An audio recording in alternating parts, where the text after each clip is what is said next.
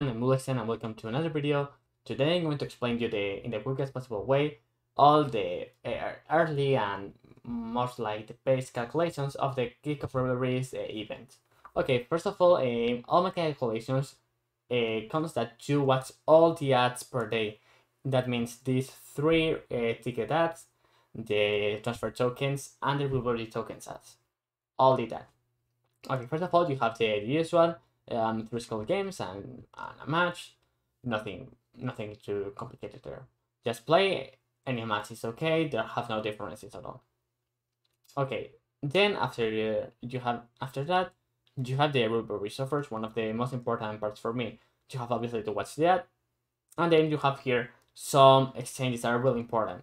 First of all, you have here the player exchanges that obviously um, will give you um, different type of resources. For example, you have League points that uh, refreshes every day. Okay, every day you can get 3000 uh, league points. Okay, I'm going to call them league points that are generic. And then you have every three days, you can get up to three players of that of league. Okay, that, that's everything you, you need to know about this. And then the pinnacle points exchanges that usually for the UTOS, well, for the ultimate transfers players and I do a video covering it when the time comes. It means in literally a week. Okay, then we have the matchups that is literally 14,000 points for free. It just play a match, are really, really easy matches. I think the more complicated one maybe this one uh, from Liverpool or I don't know, maybe this from Chelsea. You can literally play most of them, so there there is no problem. You have to play everything in a week. That's really important.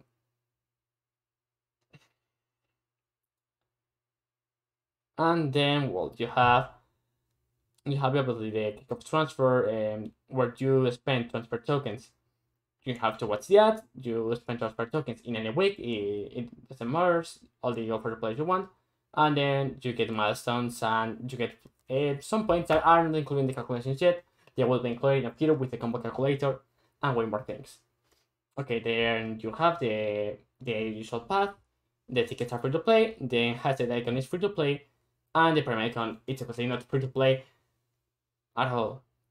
Okay, here you have the ticket swap as per, and you have here the usual path, but uh, you have some rivalry tickets and some training transfer items and other type of tokens inside the, the path. So you will have to use my combo calculator in order to get the most realistic um, number of points you can get.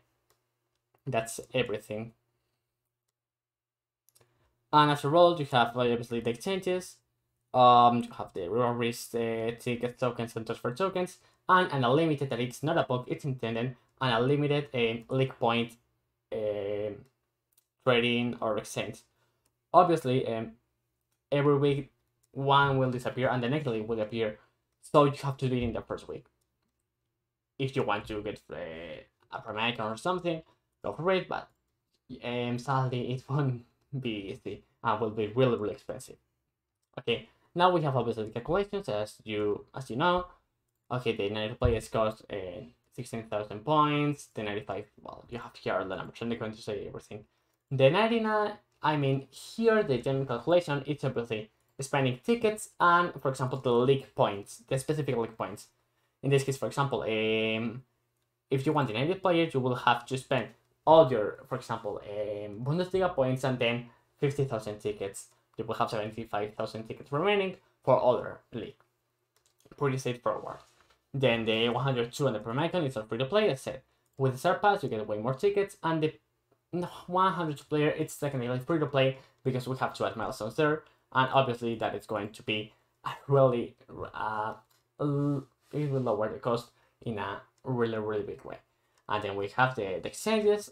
This means that how much exchanges you have to do from the limited one if you want if you want to get the player and the points to get him. So that's everything. It's really really straightforward, you know.